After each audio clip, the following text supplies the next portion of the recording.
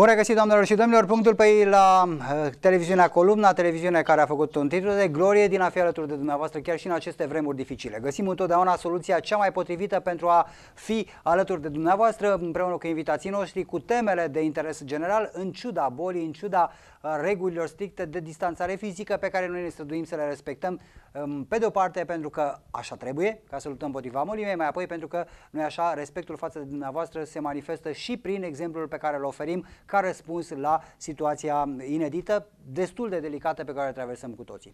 Unul dintre cei care în această perioadă a avut responsabilități uriașe în, și în lupta împotriva COVID-19, nu doar pentru sine, ci pentru o comunitate întreagă, pentru mii de familii, este invitatul meu din această seară, primarul orașului Puceasa, domnul Constantin Ana, pe care îl salut și căruia îi mulțumesc pentru prezență. Domnule primar, fiți bine revenit în emisiunea noastră și vă mulțumesc. Bine v-am găsit, vă salut pe toți, toată echipa din platou și pe toți cei de acasă care sper că ne urmăresc cu atenție.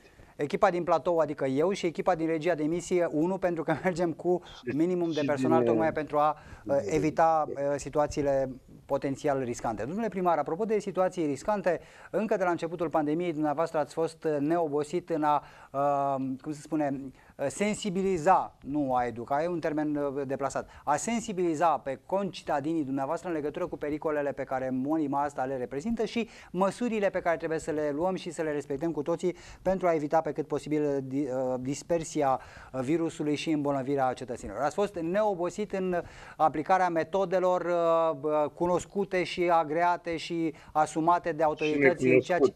Cum?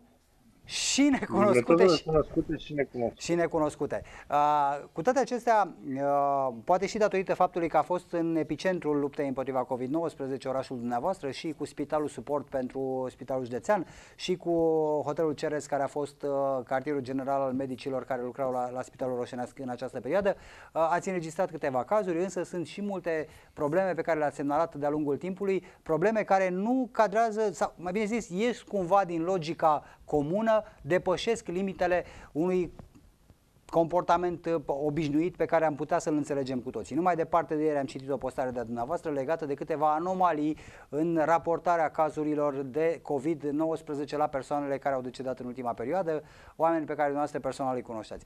Uh, mai întâi de toate, uh, care este situația acum la Pucioasa, cu ce vă confruntați și cât de dificil este să ține sub control având în vedere că totuși în țara asta, ne place, ne place, avem de-a face cu un haos la nivelul conducerii centrale, nimeni nu știe de capul lui, sunt iarăși o mie de păreri contrare, de parcă am fi ca la începutul uh, pandemiei, când toată lumea spunea ce trecea prin cap, este un secretar de stat, spune una, este un ministru, spune altceva, este Orban, spune cu totul altceva, iar a cincea opinie e a uh, celui de la Cotroceni, adică toată lumea pare să aibă cu totul și cu totul altă părere decât ceilalți de lângă el din echipa de conducere a țării. Cum se repercutează asta asupra administrației locale, asupra pucioasei de caz concret? Eu uh, vreau să vă fac o precizare mai întâi de toate. Am încercat permanent uh, să gândesc strict ca și edil al orașului Pucioasa și un, uh, ca un om cu super responsabilități față de comunitatea pe care o păstorește. De aceea, nu numai că am fost foarte rezervat, dar am făcut și tot ceea ce a fost omenește posibil ca cetățenii noștri să respecte într totul regulile impuse în sensul în care noi, pe lângă faptul că ne-am făcut treaba ca administrație, cred eu, destul de bine, i-am și îndemnat pe cetățeni și i-am și sprijinit prin distribuirea de măști gratuite, prin sprijinirea celor care erau izolați la domiciliu, să respecte într totul legea. Și tocmai de aceea sunt bulversat, pentru că trăim exact ca în vorba aia românească veche. Fă ce zice popa, nu ce face el. Cam așa se întâmplă, numai că lucrurile au devenit din ce în ce mai complicate când popii sunt mai mulți și vorbesc limbi diferite. Și atunci chiar n-au băgat de tot în ceață. Iar ceea ce s-a întâmplat în zilele astea, în aceste două zile, pentru mine e halucinant, pentru că noi am trăit o lungă perioadă de timp departe de acest virus cu mândria și satisfacția clară a faptului că cei din Spitalul Puceasa și-au făcut datoria de două ori, prin faptul că, prin prisma faptului că au tratat persoanele infectate cu COVID, dar și prin prisma faptului că au reușit să țină departe de comunitate acest virus, pentru că, slavă Domnului, niciunul dintre ei nu s-a infectat. Ceea ce e o mare realizare, credeți-mă, și știu ce vorbesc. De ceva zile însă au început să apară cazurile și la Pucioasa. Uh, spre mâhnirea mea, dintr-un punct de vedere, spre satisfacția mea de un alt punct de vedere, uh, transmiterea nu a fost intercomunitară pornind de la cazul din Pucioasa. Oamenii s-au infectat ba la, la petreceri prin altă parte, ba au venit din București, ba din străinătate, ba în spital. Niciodată nu s-a întâmplat ca cineva care a fost uh, bolnav în localitate să fie cel care uh, poartă acest virus nenorocit din casă în casă și să ne creeze probleme de răspândire uh, intracomunitară. Uh, astăzi suntem în situația în care avem șapte cazuri active și cel mai halucinant lucru este că avem și două persoane decedate ieri, de fapt una ieri, una acum două zile, care au fost declarate post-mortem, să spun așa, purtători de virus, de COVID. Cunosc foarte bine ambele situații, pentru că, în general, pe mine mă interesează tot ceea ce se întâmplă în comunitate și ca o paranteză, toți cei care au ajuns în spital și care știu că au avut probleme nu au fost lăsați niciodată singuri. Noi comunicăm cu ei, îi sunăm, îi întrebăm, vedem cum sunt, nu sunt eu, sunt de la asistență socială, nu sunt asistență socială, sunt eu, sau de la poliția locală, suntem lângă oameni și între oameni și le împărtășim necazurile și îi sprijinim în tot ceea ce au de făcut mai departe. Revenind la cele două spețe, una dintre situații chiar am trăit-o foarte intens pentru că e vorba de tatăl unui prieten de-al meu, pentru care personal am discutat cu preoții și vedeam, uh, așezam lucrurile în așa fel încât să fie un ritual ortodox cât mai bine făcut în vremurile astea grele, pentru că e un ultim omagiu pe care îl aduci reposatului și mm, a fost un om lângă casa care am crescut și eu și frații mei și ne știam de mici și m-am implicat, numai că la un moment dat am primit un telefon, mi s-a spus stop joc, că deși el a fost dus la morga celor negativi, cei pozitivi sunt duși în altă parte, surprinzător am aflat că după ce primul test cu câteva zile înainte de internare a fost uh, negativ, i s-a mai făcut un test și a ieșit rezultatul după ce a decedat, el fiind uh, declarat pozitiv. Și atunci tot ritualul creștinesc s-a dat peste cap. Probabil că la ora asta deja l-am îngropat, mi-a fost și rușine să mai sun în stilul ăsta de parcă vin de la Cernobâl. Iar a doua situație e halucinantă de-a dreptul. Ieri la ora 18-19 primesc un telefon de la DSP că avem o situație gravă, că a fost depistat uh, pozitiv o persoană, a fost contactată și surpriză persoana murise de două zile. Între timp, fusese preoți, fusese lumea din comunitate, pentru că era vorba de un profesor respectat în zona respectivă, trecuseră pragul zeci, sute de persoane din cartierul Gloden Vale și noi aflăm că testul al patrulea test, după trei teste negative, al patrulea test a ieșit pozitiv la două zile după ce a fost adus acasă cu certificatul de deces, cu adeverință de înhumare, în care nu se specifica absolut nimic de COVID. Se pare că testul a fost prelevat acum mai bine de o săptămână, nu se știe ce s-a întâmplat, cum a ajuns să fie pozitiv, de ce a ajuns atât de târziu rezultatul și de ce totul s-a dat peste cap atât de brusc, pentru că noi ieri le-am pus la dispoziție combinezoane, echipamente, i-am ajutat cu dezinfecția astăzi, cred că jumătate din cartier, exagerez sigur. Ne-au solicitat să intervenim și am făcut dezinfecția pentru toți, o să suporte primăria toate aceste costuri.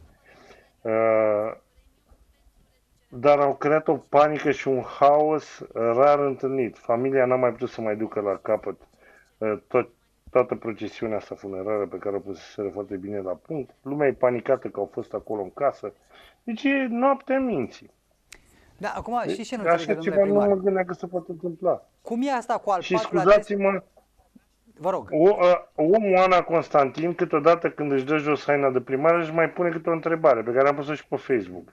O să ajungem să aflăm că și cei care au decedat în accidentele rutiere sunt brusc contaminați cu COVID. Da, e ceva neregulă. E generalizat. Primarul nu are voie să-și pună întrebarea asta, dar Costin Ana și-o pune. Ba și primarul pentru are dreptul, pentru că prima obligație este pentru comunitate, domnule primar. Nu, acum... Primarul trebuie ce... să respecte legislația. Și, și primarul trebuie să-și protejeze comunitatea. Și asta e adevărat, dar nu va interzis nimeni să aveți opinii și să, să le distribuiți către, către cetățenii Eu niciodată nu, niciodată nu am fost omul care să mă feresc de propriile împăreri, dar sunt situații în care nu mă pricep și asta este una dintre cele mai clare situații, și evit să emit opinii. Ascult specialiștii și fac ceea ce trebuie făcut, ă, filtrând, bineînțeles, informațiile, că nu ne aruncăm niciodată cu capul înainte, dar am început să am foarte multe semne de întrebare și, iertați-mă, nu mai știu cum să gestionez această situație. Acum, în timp ce discutam cu dumneavoastră, mi-a apărut de la Busy Day informația că sunt și azi 1151 de persoane. E ceva incredibil. Uh, bine, aici sunt multe chestiuni și nu trebuie să fii specialist ca să, să despici firul în patru, pentru că noi nu dăm verdicte medicale, noi nu, nu, nu semnăm rețete sau certificate Corect, de orice fel. E vorba de organizare. Uh, chestia asta cu patru teste, trei negative și al patrulea neapărat uh, pozitiv, e cam bancul ăla. Când era, nu banc, când eram copii și jucam cu cine trage bățul scurt. Nu-ți convenea, mai trăgeai odată și încă o dată, până când îl trăgeai pe ăla care îți convenea. Ceva de genul ăsta se întâmplă și aici. Adică atâta haos și atâta dezorganizare și se dă vina pe noi, cetățenii, că nu purtăm mască. Păi, dacă e adevărat că acei uh, oameni suferau de, de, de, de boala asta, erau atinși de virusul ăsta înainte să moară și au fost trimiși în comunitate cu largul com, uh, concurs al incompetentei administrații uh, guvernamentale de, de pe toate palierele, aia e răspândire comunitară. Nu că nu port eu o mască Corect. pe stradă sau că strănut eu pe stradă, dar ne dau vina pe noi. Cât privește numărul mare de, de infectări, domnul primar, aici, iarăși nu trebuie să, să inducem panică, pentru că la o, 1800 de, de, de teste câte se făceau în martie, erau 300 de, de infectați. Acum sunt de 4 ori mai mulți, dar de 10-12 ori mai multe teste și mai e un aspect foarte important. Toate testele astea se fac în zonele cu risc da, de infectare, în acele medii cu risc mare de infectare sau sunt cetățeni care se duc voluntar să facă testul pentru că pleacă în străinătate. Deci, uh, cum să spun eu, uh, șansele ca numărul celor uh, de, depistați pozitiv să fie mai mare sunt și ele mai mari. După cum dacă mâine facem testare la nivel de țară, fac pariu că avem 6 milioane de pozitivi. Eu mizez pe 6 milioane, poate fi mai mulți. Bun, nu asta este problema. Problema e că, uh, așa cum spuneați dumneavoastră, se transmit niște semnale de astea care uh, pur și simplu induc o panică și o isterie națională, dar pe de altă parte măsurile concrete, eficiente, pozitive, care să ne, ne ajute să depășim situația, uh, lipsesc oarecum. Tematica pe care vreau să o dăm astăzi emisiunii era Pucioasa patru ani împreună, pentru că domnule Ana, dumneavoastră sunt patru ani de mandat și iată, uh, v-a dat uh, Dumnezeu sau întâmplarea la sfârșitul primului dumneavoastră mandat, eu așa vă urez să fie doar primul uh, dintre mandatele dumneavoastră, această situație gravă pe care vă străduiți să o gestionați cât mai bine cu putință pentru concetățenii noastre. Ce spun oamenii din Pucioasa apropo de măsurile care s-au luat și de strădanii administrației locale? Din câte știu eu, pentru că s-au făcut și sondaje în acest sens, avem un grad de satisfacție imens în rândul populației, pentru că noi am comunicat foarte atent, am fost prezenți permanent în comunitate, am ajutat în fiecare situație când au fost cazuri uh, mai dificile și cred că lumea nu are ce să ne reproșeze din acest punct de vedere. mă scuzați, purtatul permanent al măștii mă omoară. în același timp însă, mă bucur sincer, fără lipsă de modestie, că am fost eu cel care s-a aflat la conducerea orașului în această perioadă, că mă gândeam prin comparație cum s-ar fi comportat fostul edil, cum ar fi colaborat cu autoritățile cu care deja își închisese toate ușile și cum s-ar fi comportat cu cetățenii din vârful cazematei pe care o construise sau o transformase el primăria. Uh, au fost niște perioade foarte grele. Acum un an de zile anunțam că 2020 va fi anul în care vom face istorie în Pucioasa. Și ca dracu am făcut altfel de istorie. Pentru că în loc să ne bucurăm acum de toate realizările noastre, de toate proiectele care au început, suntem stresați din toate punctele de vedere. Bani nu avem pentru că gradul de colectare este foarte slab. Partea de IVG la fel suferă și ea pentru că oamenii nu au lucrat și firmele la fel. da, da, cel puțin, cel puțin i-a ținut pe, pe oamenii din Puceasa la depost. Asta e o mare realizare. Le-ați protejat viața și e sănătatea domnului primar și nu e puțin lucru. Eu așa trebuie să spun. Acum, bine, un asfalt, o canalizare, un bloc mai facem, dar ce sănătatea Noi și ne viețile oamenilor... cu un singur lucru. Acum 3-4 ani de zile am intrat în casele oamenilor și am plecat cu idei. În 2016 la Puceasa existau trei cerințe care probabil pentru alte localități sunt lucruri banale. Oamenii care? voiau apă potabilă, Aha. oamenii voiau supermarketuri și oamenii voiau să scape de câini.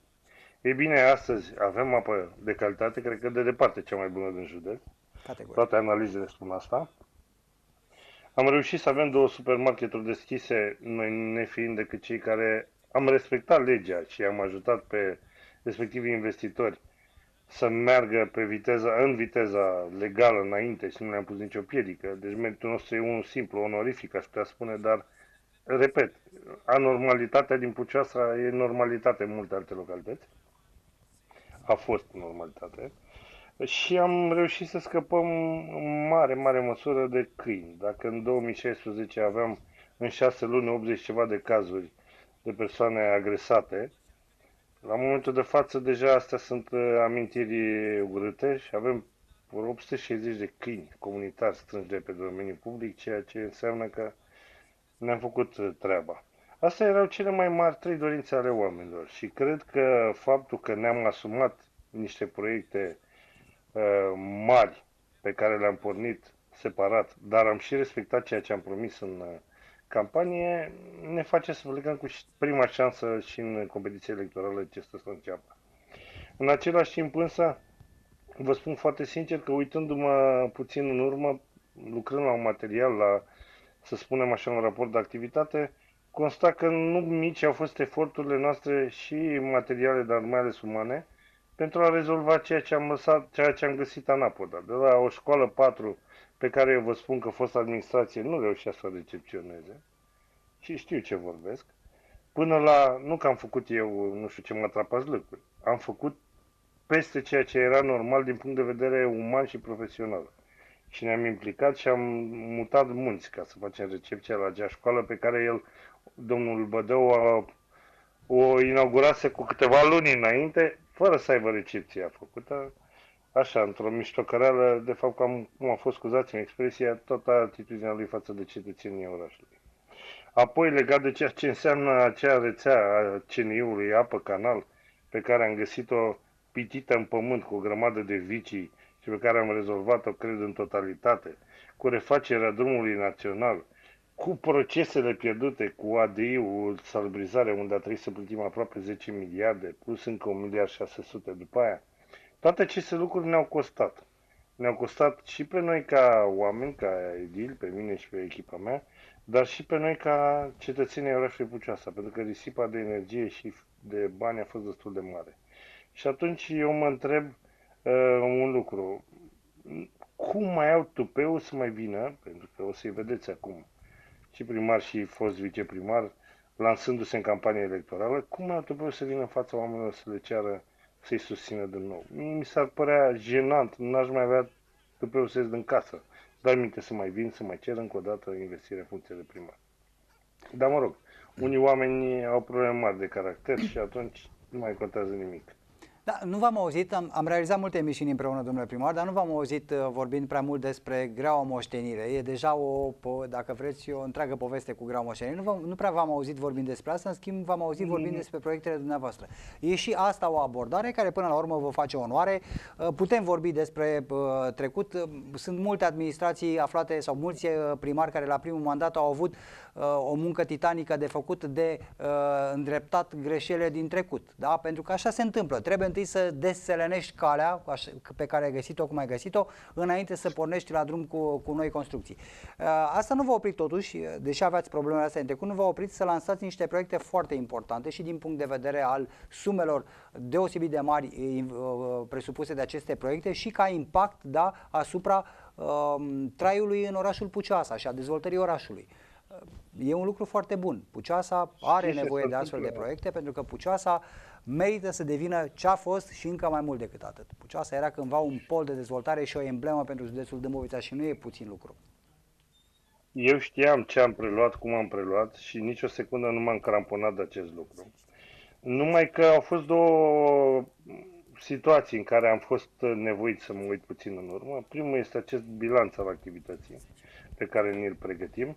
Și al doilea lucru este un reproș venit din ce în ce mai insistent din uh, partea unora că nu am stat să mă ocup de prostiile făcute de Bădău.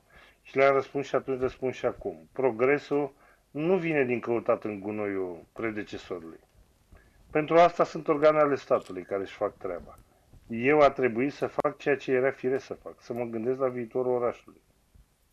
Nu să mă agăs de trecutul ăsta recent și dureros. Nu, a trebuit să mă uit în față și să nu ratez niciun proiect european. Și uitați-vă că astăzi suntem campioni naționali la numărul de depuneri. Cu 18 proiecte europene depuse, acum depunem proiectul pentru spital pe Poim, avem uh, toate aplicațiile posibile le-am, uh, le-am folosit, de la cadastru sistematic până la free Wi-Fi. Noi am fost peste tot unde am găsit o sursă de finanțare care se plia pe nevoile noastre, pentru că am încercat să explic tot timpul că știm nevoile, cu toții le știm, numai că un primar destoinic e la care găsește și soluții pentru finanțarea lor. Că așa să înșirăm necazurile, le înșirăm rapid. Nu da. faci nimic. Iar când ești un primar într-o localitate cu un buget atât de limitat ca al nostru, să te gândești că îți trebuie banii pe 2-300 de ani să rezolvi problemele uh, mari ale orașului, te gândești de unde ai scos banii, ce ai de făcut pentru a finanța aceste proiecte. E adevărat, de multe ori nu găsești finanțare exact pe ceea ce ai tu nevoie. Dar dacă ești un pic isteț, te pliezi. Noi avem patru proiecte pe axa 13, cea mai complexă axă, uh, pentru orașe mici și mijlocii, de care sunt foarte mândru, pentru că pe lângă componenta socială au și componenta de infrastructură și atunci ne creează premisele dezvoltării din toate punctele de vedere. Și astea sunt patru din cele 18 proiecte. Uh, deja am dat drumul la licitații. Sper ca în primăvară să fie absolut toate proiectele în lucru.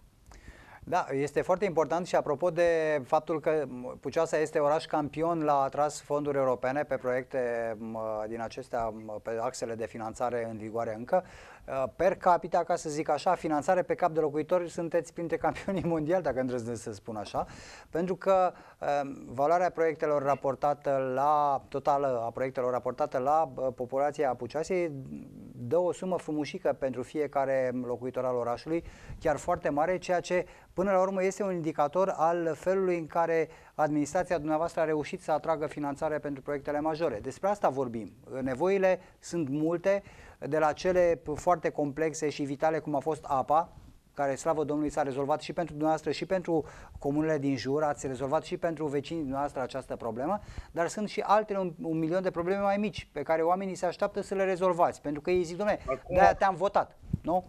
Corect, Așa. corect. Acum am reușit să fac o socoteală și am adăugat inclusiv proiectul pe Poim pentru spital. Și vă spun așa că dacă pe porul trecut Târgoviș a fost pe podium, locul 2-3, nu mai știu, cu o sumă în jur de 700 de euro pe cap de locuitor, toate proiectele noastre depuse, inclusiv cel pe care îl vom depune acum într-adevăr, ne duc la o sumă de minim 4500 de euro pe cap de locuitor. Investiții din sumă, bani uh, extrabugetari, din bani europeni. Bani europeni. Din bani europeni. Mai punem deci și PNDL-ul? Este un lucru incredibil. Dacă punem și CNI și PNDL, ne ducem la niște sume extraordinare. Eu cred că vom sări de 120-130 de milioane de euro bani care vor veni pe uh, por PNDL, CNI, pe ceea ce avem acum depus, că și aici avem două proiecte în lucru, deja se lucrează la Colegiul Național Nicolae Titulescu pe partea de reabilitare, e un proiect imens de vreo 16 milioane de lei, plus uh, proiectul de PPNDL de drumuri, care a mers un pic mai greu și datorită vremii și datorită lipsei oamenilor, dar am început în forță de ieri. Uh, dacă mai pun și CNI, unde avem piața deja, licitația terminată și așteptăm o din începerea lucrărilor, se adună niște sume frumușele și cred că în sfârșit în Puceasa se simte o schimbare. Și o Cum schimbare spuneam. generată de aceste proiecte, foarte multe dintre ele extraordinar de importante. Păi, domnul primar, știți cum este la alegeri? Vine X și propune cetățenilor, nu știu, parcuri. Vine Y și propune. Ce propune?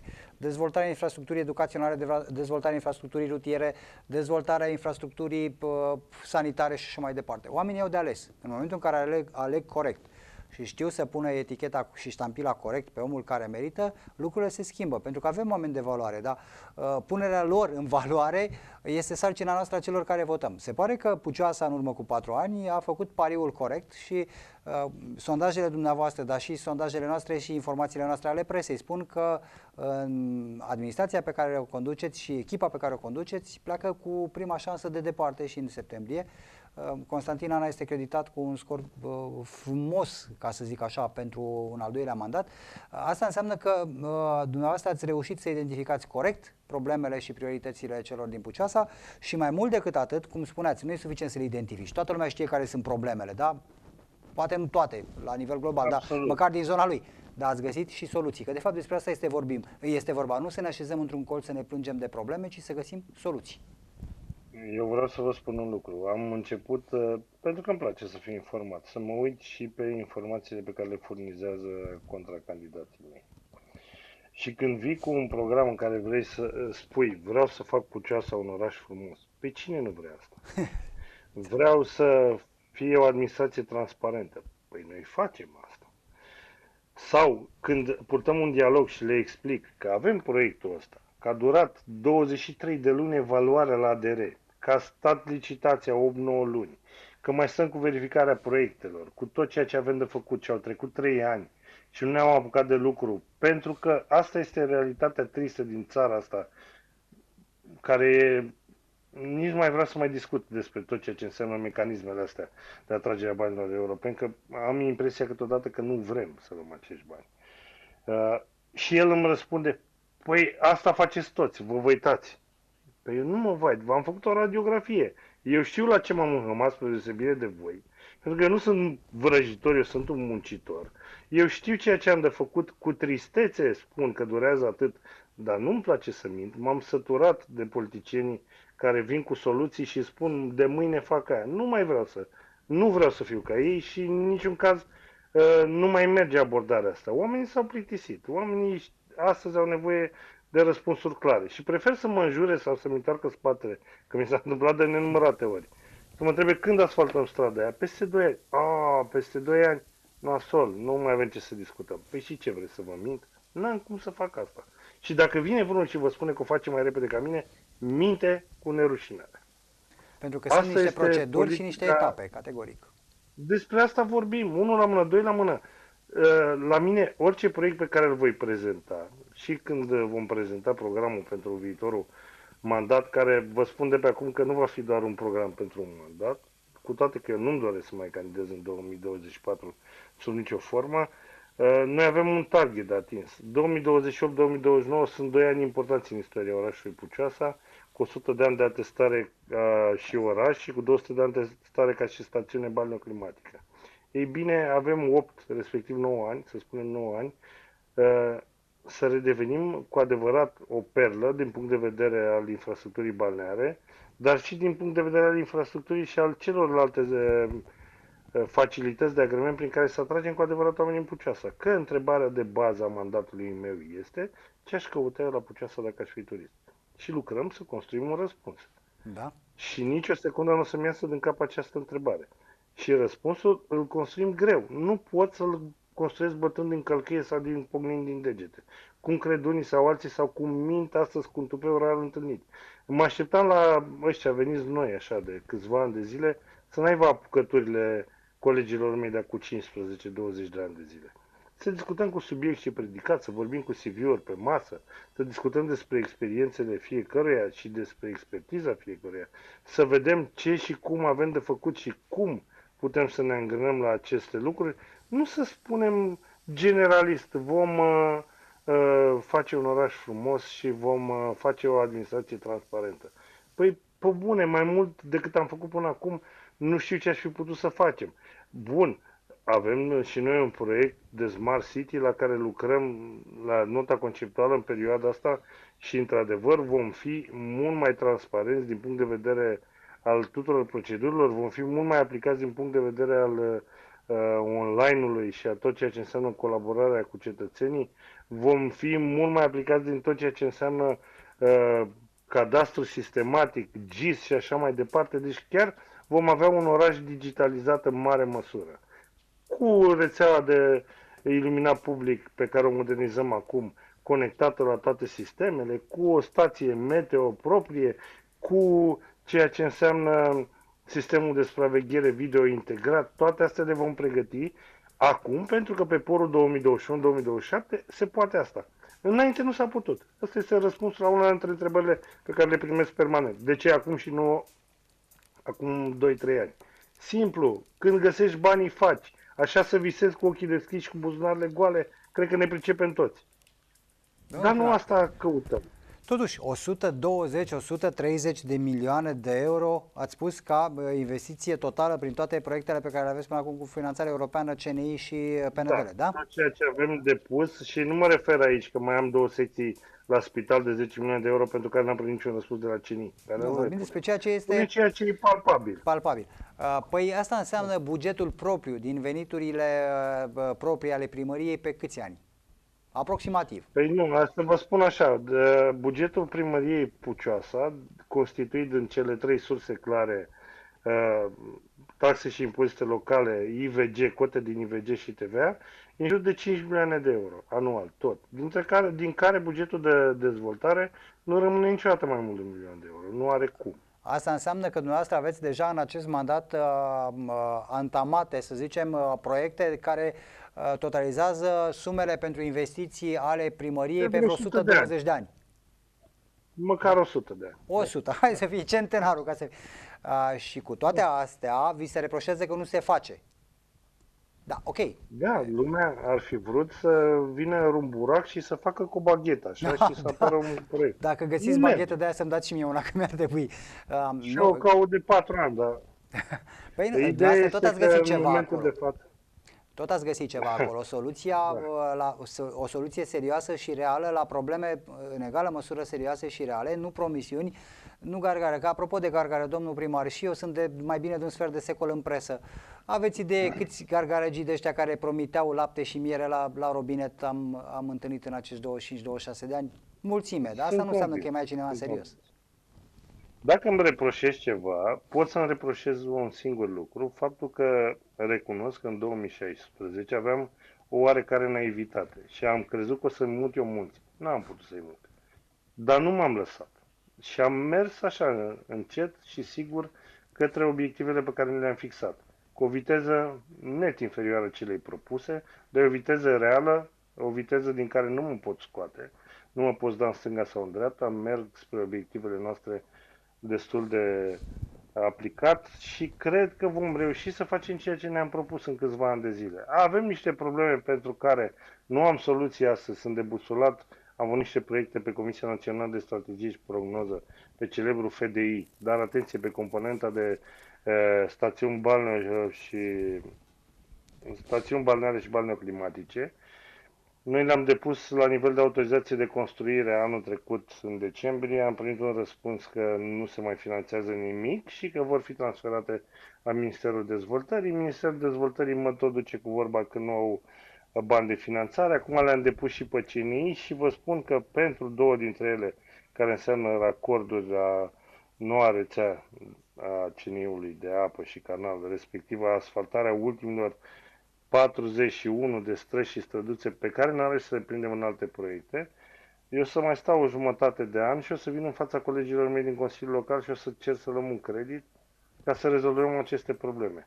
Și atunci, cu aproape toată infrastructura apă, canal și toată infrastructura rutieră rezolvată, sigur, se strică altele între timp, e adevărat, dar ne putem pregăti și ne putem apuca de lucruri de finețe. Deci vreau neapărat și cred că din ceea ce am văzut axele, cum se conturează, o să putem să depunem un proiect pentru o parcare imensă subterană în zona centrală a orașului.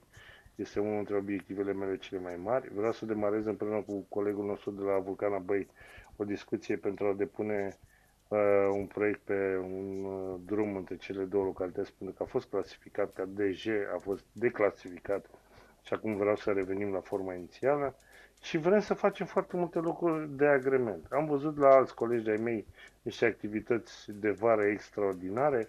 Vreau neapărat să insistăm pe ceea ce înseamnă partea balneară și balneoclimatică. Cred că e momentul să facem și un uh, muzeu al orașului, pentru că avem o clădire, școala 2 din Șerbănești, o clădire în 1836 și alte destinații, nu cred că pot să-i dau. Și cred că totuși noi trebuie să învățăm să ne iubim orașul ăsta cu tot ceea ce înseamnă trecutul lui și cu partea de e, industrie hotelieră, balneo și ce am mai avut noi, plus industria lemnului, confecții, textile, toate astea trebuie să nu le uităm și să ne cinstim uh, înaintașii și să le arătăm respect.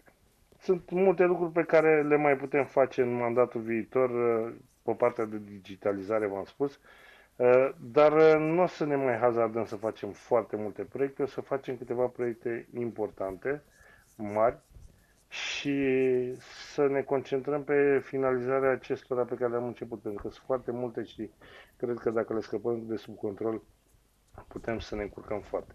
Un alt proiect, uh, să-i spunem proiect, care ar contribui la uh, revenirea orașului Pucioasa la statutul de putere economică de dinainte de 1989, cel puțin, uh, domnule primar, am constatat că administrația noastră este foarte preocupată de o bună, o strânsă legătură cu mediul de afaceri, cu antreprenorii din oraș, care au reacționat foarte repede și pozitiv atunci când uh, ați avut nevoie de ei, da, de sprijinul lor la începutul uh, pandemiei.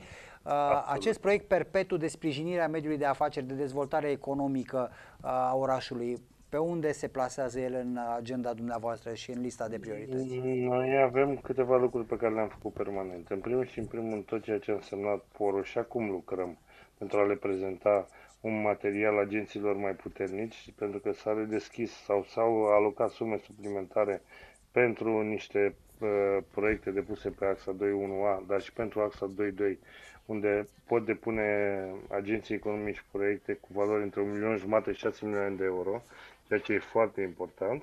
Și o să-i la momentul de față se lucrează la un rezumat al ghidului, ca să spun așa, pentru a avea toate informațiile succinte să vadă dacă poate sau nu să fie o oportunitate de pune un astfel de proiect.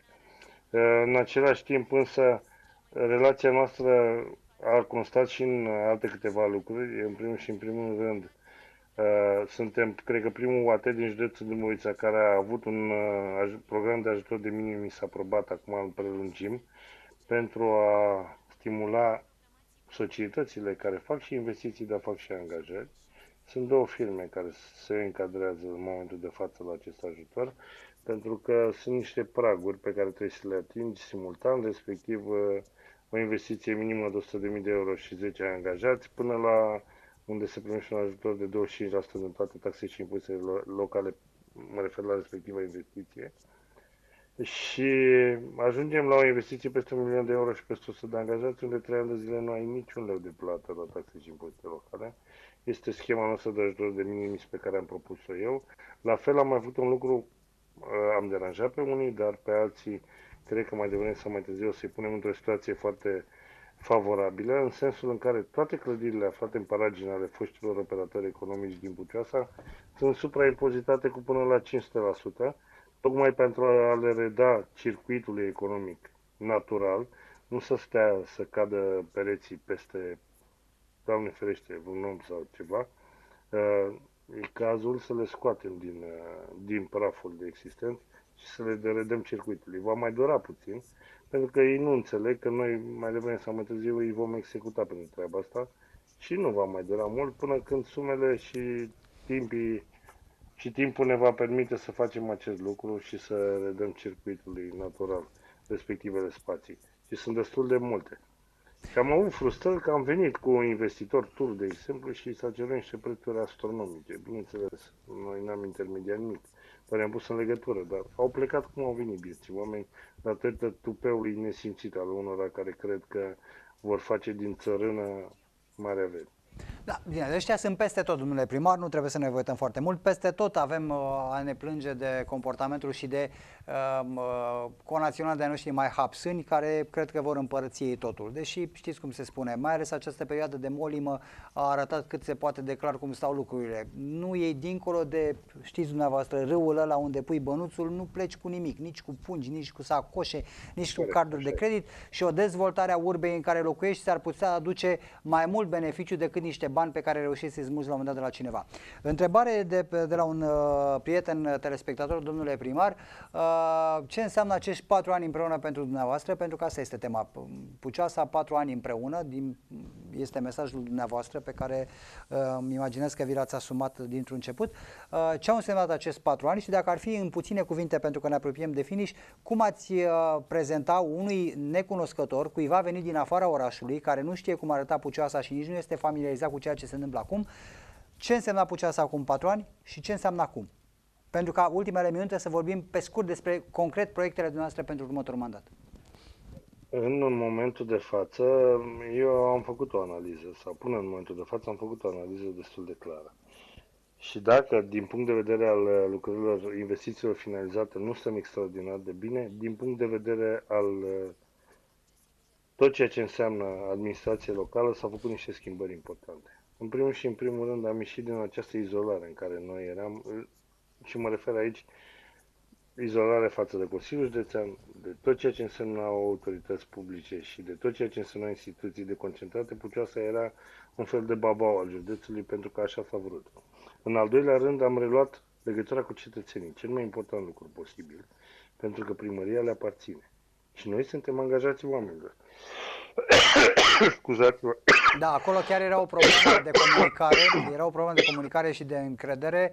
Uh, cetățenii aveau senzația, sau trăiau mulți dintre ei cu senzația că au fost cumva abandonați, că primăria nu mai este a lor. Că... Au și mă uit în listele de audiențe cu câte persoane, poate mii, am stat de vorbă în acești patru ani de mandat. Pe mulți am putut să ajut, pe alții nu, dar în orice caz cred că ușa mea a fost deschisă permanent pentru absolut orice persoană care a avut o problemă și care a vrut să ajungă la primărie.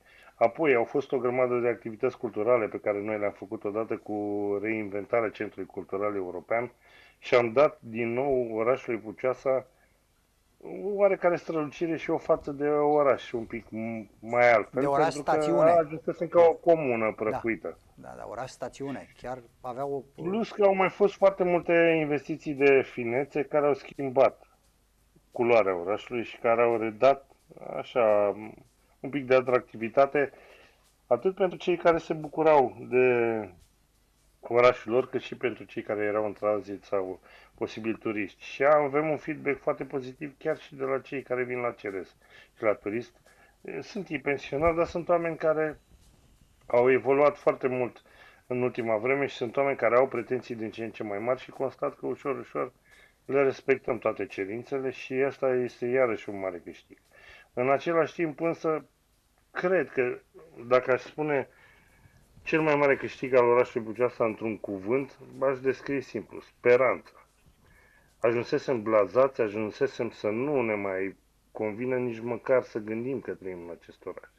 Dar da. să ne gândim la un viitor împreună cu copiii noștri în acest oraș. E uite că lucrurile s-au schimbat. În învățământ am făcut niște investiții extraordinare. Toate instituțiile au fost sau vor fi sau sunt în acest moment în curs de sprijinire și mă refer la grădinițe, școli, licee. Avem proiecte și soluții pentru toate. S-au cunoscut, cred că, foarte mult și chiar o să vedem zilele viitoare un material cu directoarele de la cele șapte instituții de învățământ din oraș pentru că le-am cerut nu politic, le-am cerut să spună fiecare dintre ele cum a văzut conlucrarea între primărie și instituția pe care o conduc în acești patru ani zile. Și sunt sigur că sunt foarte multe lucruri pe care eu personal le-am uitat, lucruri bune. Și dânsii, sau dânsele, că nu mai doamne, le știu foarte bine. Și aștept să vedem ce avem de făcut în continuare împreună, ce avem de construit împreună, pentru că de multe ori în cred că știu tot sau cred că am identificat toate problemele, dar apar surprize permanent și nevoi noi. Noi trebuie să ne adaptăm permanent și să rezolvăm toate aceste situații indicate de cetățeni. Apropo de, uh, de nevoile, domnul primar, mă iertați, uh, pentru că nu mai avem decât două minute și nu vreau să scap, să ratez oportunitatea de a vorbi, fie și foarte pe scurt despre asta. Apropo de nevoi, noi am văzut că până și la, la capitolul echipă propusă uh, cetățenilor pentru viitorul mandat, uh, sunt elemente de noutate. Echipa uh, primar, președinte Consiliului Județean, v-am văzut alături de domnul Corneliu Ștefan, propunând împreună uh, oamenilor din Pucioasa și din Bovețenilor proiecte pentru, pentru ei. Cum va funcționa această echipă? Ați spus de mai multe ori în timpul emisiunii că uh, Pucioasa a scăpat de izolare și că a reluat relațiile normale, firești cu instituții de genul Consiliul Județean.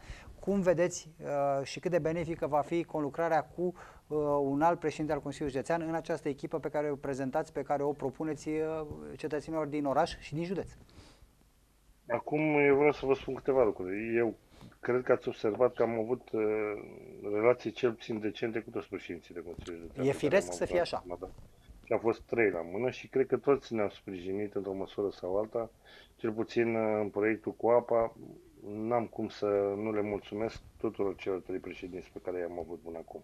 Dar, în momentul de față, Pucioasa sprijină candidatura lui Corneliu Ștefan prin vocea mea, bineînțeles, și a colegilor mei. Sunt sigur că nu tot orașul, deși mi-ar plăcea să se întâmple asta, să fie alături de el, din mai multe motive. Unul la mână, el a fost deputatul pe care noi l-am avut aici la Pucioasa și cred că este omul care cunoaște din tot PSD-ul cel mai bine problematica nordului județului și a orașului nostru în special. Uh, doi la mână, noi ne sotim permanent și multe dintre uh, proiecte sau multe dintre soluțiile pe care le identificăm uh, le-am făcut împreună. Trei la mână. Consider că în momentul de față toți cei care au trecut pe acolo au arătat ce au putut să facă. Iar în momentul de față, cred că acest om merită o șansă pe care noi o dăm nu ca pe un cec în alb, cunoscându-l și sperând că orașul nostru nu va fi neapărat privilegiat, dar va fi tratat corect. Va fi tratat așa cum are nevoie să fie tratat. Puceasa, spre deosebire de alte localități, are o problemă mare pe care am identificat-o, am transmis-o tuturor și până acum nu s-a găsit o soluție. E vorba de sumele de care ne avem nevoie pentru cofinanțări. Am încercat să le asigurăm de bugetul local, probabil că va trebui să recurgem la un credit rapid pentru a nu ne bloca. Dar uh, sper că va exista în viitor posibilitatea să fim sprijiniți atât de Consiliul Județean cât și de Ministerul de Finanțe în acest sens. Pentru că, să mă ierte Dumnezeu, ne-am zbătut, am câștigat niște competiții cu aceste proiecte. Fiecare proiect a fost un pariu câștigat și o luptă imensă. Și multă și muncă. nu ne putem permite riscul de a le, și foarte multă muncă, de a le pierde sau de a ne încurca acum exact când trebuie să valorificăm această oportunitate. Da, știți, senzația deci, mea, domnule primar, a fost că unii președinți de Consiliul Județean uh, au supralicitat rolul lor de, de administratori ai județului. Că de fapt Consiliul Județean nu este neapărat o entitate care trăiește prin sine și pentru sine. Nu și este autosuficientă această entitate, această instituție. Consiliul Județean este o structură de deasupra uh, localităților din județ, nu pentru că este superior sau ierarhic superior, ci pentru că trebuie să aibă o imagine de ansamblu să ajute pe toată lumea unde este nevoie. Nici de cum să aibă proiecte de dezvoltare proprie, pentru că nu se poate dezvolta județul. Județul ce înseamnă? 89 de localități. Ăsta este județul. Nu există un județ Dâmbovița și 89 de localități ale județului Dâmbovița pe un alt plan. Nu există așa ceva. De azi ar trebui să existe o, o, o, o mai strânsă conlucrare și o mai, mai atentă aplicare a forului județean către problemele fiecărei localități în parte. Eu așa văd lucrurile cel este foarte, este foarte adevărat uh, și cred că se vor face foarte multe asocieri sau mai ales de acum încolo, s-au făcut și până acum, dar uh, ceea ce contează pentru mine este faptul că cineva trebuie să conștientizeze că suma problemelor acestor localități, de fapt, sunt, uh, dau problemele reale ale județului și că fiecare dintre noi trebuie sprijiniți în rezolvarea acestor probleme care aduc plus de valoare atât pentru localitate, dar și pe județul, uh, pe întreg județul privindu-l în ansamblu, pentru că mai devreme sau mai târziu vom realiza că indiferent câte drumuri județene am reabilitat noi, nu poți să ieși după un drum județean minunat, ci să intri pe niște hârtoape din nu știu ce cartier, să zic Dacă n-ai școli, n-ai spitale, n-ai, nu știu, Nu mai spun de acest muncă. lucru. Nu mai spun de acest lucru. Nu mai spun de faptul că din punctul meu de vedere, iarăși trebuie făcută o, o gândire globală. Eu vă spun la momentul de față, dar vă dau un simplu exemplu. Avem trei licee pe nordul județului. Colegiul Național Nicolae Titulescu, teoretic, Liceul Tehnologic din Pucioasa și un liceu care este mix la Fieni. Nu avem cum să facem performanță cu trei unități școlare care se mai calcă pe alocuri pe bătături și pentru care din ce în ce mai puțini elevi se găsesc. Și mai puțină ceva finanțare, făcut, normal, că finanțarea urmează elevul. Ceva trebuie făcut în așa fel încât să rămânem cu un liceu de calitate, un colegiu național și un liceu tehnologic, iarăși pe care trebuie să-l aducem la un alt nivel. Domnul primar, o ultimă... și-a făcut banii toate părțile, în apă, dar asta a fost un simplu exemplu. O ultimă întrebare, vă rog, pentru că timpul, uh, timpul s-a scurs. Credeți că este, apropo de acest parteneriat, că este Cornel Ștefan, președintele Consiliului Județean, care a înțeles această nevoie de a însuma problemele localităților și de a găsi soluții globale pentru toate și a uh, rupe cercul ăsta vicios, Consiliul Județean se plasează undeva în afara problemelor localităților. E altceva. Este persoana care va face această Eu va reface sper, această conexiune între localități și forul județean? Așa cred, așa sper. Eu nu știu dacă ați văzut. Nu sunt unul dintre cei prezenți pe capul lui sau care îl solicită permanent pentru anumite acțiuni. Noi ne facem treaba aici în liniște și el se poate baza pe noi și cu siguranță și noi ne vom baza pe el. Eu îmi pun toate speranțele că lucrurile vor merge bine și la alegeri și mai ales după alegeri. Vom mai avea timp să vorbim despre asta până la alegeri, domnule primar. Suntem uh, încă mult uh, departe până când începem campania electorală. Vom mai avea posibilitatea să vorbim și despre aspectele administrative și de cele politice și electorale, de ce nu. Uh, ca întotdeauna vă mulțumesc pentru amabilitate, vă dorim din toată inima succes. Din punctul meu de vedere, Puceasa este un oraș care nu doar că merită mai mult și că oamenii aceia gospodari din oraș merită mai mult, dar chiar sunteți pe, pe calea cea bună și mă bucur că orașul în care care este trecut la rubrica locul nașterii în uh, actul meu de identitate se dezvoltă așa frumos. Felicitări și uh, la mai multe, mulțumesc, la mai mare. Mulțumesc, un singur lucru îmi doresc, lumea să aibă răbdare cu mine. Încredere știu că au, dar trebuie... Vor avea și răbdare, vor învăța, pentru că toate se învață, domnule primar. Doamnelor și domnilor, pentru mine o reală plăcere să discut din nou cu primarul orașului Puceasa, un om care poate nu este foarte bine încadrat în limitele ale politicianului, dar cu siguranță este un administrator devotat al treburilor orașului și un om care se străduiește să-și ducă până la capăt datoria față de semenii săi. Îi mulțumim pentru amabilitate, îi salutăm pe toți de la Puceasa, îi mulțumim tuturor telespectatorilor și pe mâine seara. Și eu vă salut și vă mulțumesc și să știți că, de fapt, cred că asta e principala mea calitate, că nu mă încadrez în tipa.